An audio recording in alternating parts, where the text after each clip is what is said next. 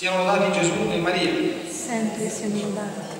Abbiamo ascoltato l'incipit nella prima lettura della lettera di San Paolo ai Romani, che ci accompagnerà nei prossimi giorni e che ci ricorda la bella verità e notizia dell'obbedienza della fede che gli apostoli sono chiamati ad ottenere da parte di tutte le gente, l'obbedienza della fede che si ottiene in maniera molto semplice, predicando verità e annunciando Gesù Cristo come unico Salvatore, quindi senza eh, mezzi, forme o prodigi straordinari, come del resto anche Gesù nel Vangelo, parlando del segno di Giona e della sapienza di Salomone, ci ricorda. Lui dice che c'è un segno di malvagità nella sua generazione nell'andare a cercare segni strani, capite? Segni sensazionali. E volevano che Gesù facesse chissà che o chissà che cosa per dimostrargli che era il figlio di Dio.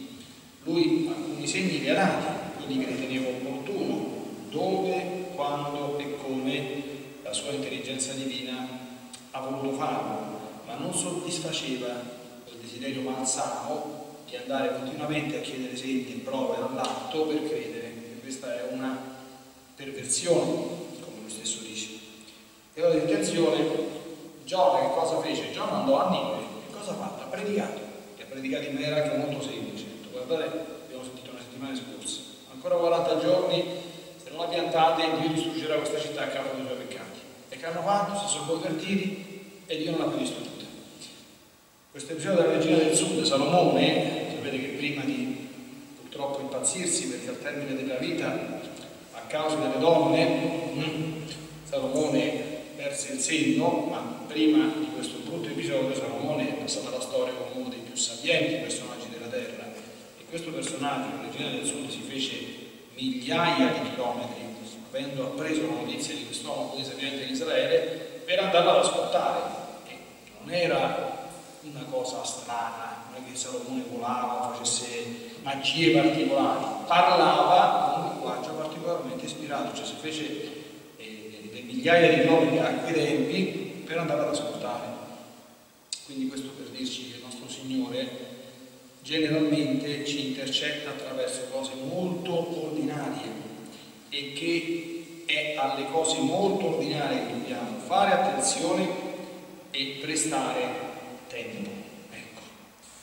Ultima considerazione di oggi, oggi la Chiesa celebra la memoria liturgica di una grandissima santa, poco conosciuta di per se, stesso, per se stessa, scusate, molto conosciuta per la devozione che si è manifestata attraverso di lei. La santa è Santa Margherita Maria Alacoque, mistica, mistica e santa francese vissuta nel XVII secolo dal 1647 al 1690 e a lei apparve Gesù dando rivelazioni cosiddette sul Sacro Cuore. Chi ci è venuto nello scorso mese di giugno ci abbiamo fatte tutte le ore sante di giovedì, del giovedì sera attraverso gli scritti proprio di Santa Margherita Maria e ciò che Gesù rivelò a lei del Sacro Cuore.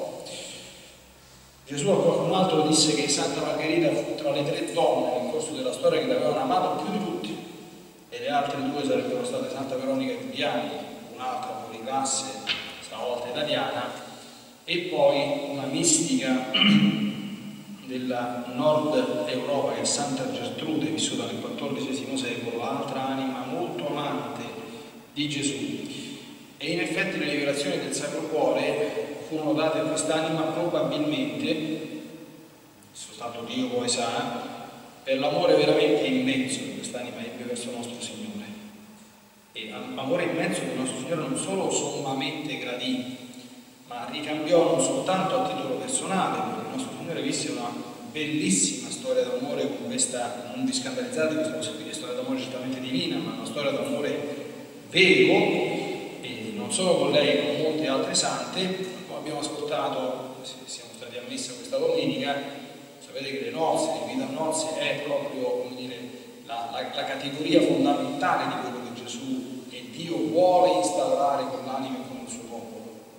E rivelazioni del Sacro Cuore sono un dramma, perché vedete qui abbiamo questa splendida statua, è Gesù che mette a nudo il mistero del suo amore immenso, che non trova uno chi lo accolga parla di indifferenza, di ingratitudine, e meno ancora chi lo ricambia, e meno ancora chi lo ricambia talmente tanto che è capace anche di amarlo per chi non lo ama, compiendo dei gesti di riparazione. Però tutte queste cose Gesù le vuole e tuttora oggi sta in cerca di anime di questo genere. Se qualcuno gli viene questa santa ispirazione, la secondi, non pensiamo bisogna essere per forza dei grandi santi o dei grandi mistici. E con Gesù stesse identiche eh, disposizioni, stesse identiche cose, ha liberato la Madonna a Fatima liberazione del cuore immacolato di Maria, tale quale identiche. Quindi anche l'amore della Madonna cerca cuori che raccolgano, cerca cuori che lo ricambino e cerca anche cuori che siano capaci di ricambiarla talmente tanto da riparare per tutti quelli che bestemmiano la Madonna, la Madonna, la devozione primi cinque sabati del mese con la comunione riparatrice, così come la devozione primi nove del mese. Sono cose molto belle che ci aiutano veramente ad entrare nel cuore del mistero di Dio, che è un mistero di amore vero, profondo, intenso, dentro il quale poi tutto quello che comporta la vita di fede, l'ascesi, i comandamenti, la perfezione, la santità trova senso. Perché chi ama fa qualunque cosa per la persona amata, chi non ama, ecco, sapete che ci sono delle apparizioni che sono ancora sotto la come dire, sotto giudizio della Chiesa, per cui parlandone dal pulpito devo fare questa premessa, non sono riconosciute, sono quelle di Meggiugorio. Che la Madonna Meggiugorio avrebbe chiesto dei gesti forti, tipo digiuno a pane e acqua il mercoledì e venerdì, giusto? Eh. E però uno dice, eh, un po' digiuno a pane, non è un mal di testa che, che, che mi scoppia la testa. La Madonna, con la sua consueta bontà, sempre sul posto che lei, io fino a prova contraria sono propenso a crederci, disse, pesa a chi non ha amore, ma se qualcuno mi ama veramente e vuole fare questa cosa, io chiedo certamente perché c'è un motivo, sicuramente non gli peserà. Questo lo faccio un'esperienza a tutti quanti. Se amiamo veramente qualcuno, qualcosa, siamo disposti a fare molto per quel qualcuno o per ottenere quella qualcosa. Quando non amiamo abbastanza è chiaro che ogni piccola cosa ci diventa un peso. Bene, chiediamo a Gesù Maria che ci aiutino a entrare in questa dinamica, in questo orizzonte di amore, perché dentro di esso tutto diventa meraviglioso, splendido e soprattutto bello e leggero. Siamo lodati Gesù e Maria.